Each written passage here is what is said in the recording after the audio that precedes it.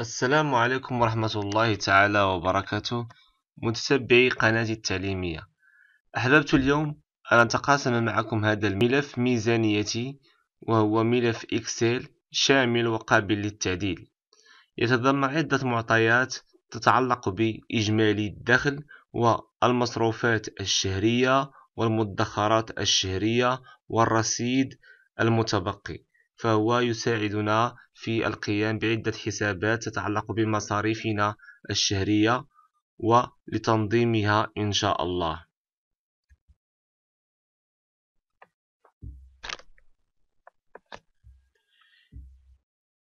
كما تشاهدون واجهة الملف هي كالآتي إذا هنا عندنا إجمالي الدخل الشهري وإجمالي المصروفات الشهرية كمثال.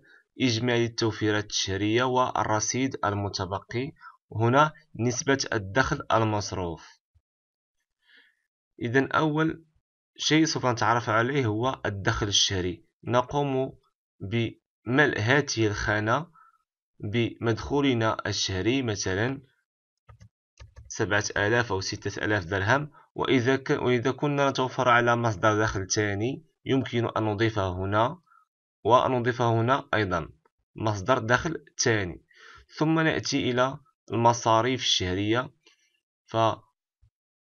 فكمثال هنا وضعنا الإيجار أو الرهن العقاري فواتير المنزل كالكهرباء والماء والهاتف المؤونة الشهرية الهاتف المحمول قرض السيارة مصاريف السيارات مصاريف المدرسة صحة الترفيه ومصاريف متنوعة. يمكننا أن نقوم بتغيير هذه المصاريف بالضغط عليها مرتين ثم نقوم بكتابة يعني آه، المصاريف التي تتعلق بمصروفنا الشهري.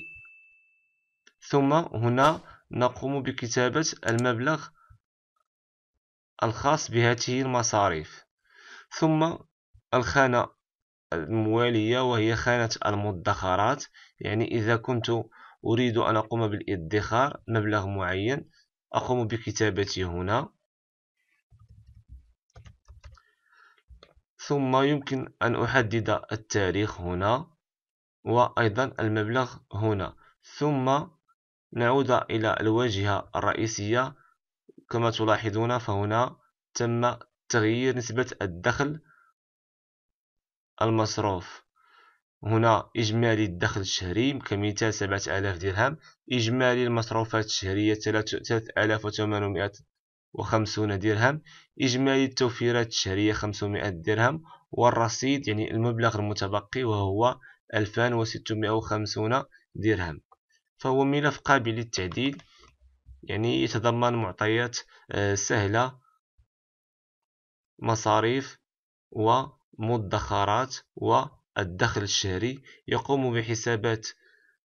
ثم نحصل على مبيان وعلى مجموعة من المعلومات تتعلق بمصروفاتنا الشهرية. وشكرا جزيلا لكم وبالتوفيق إن شاء الله.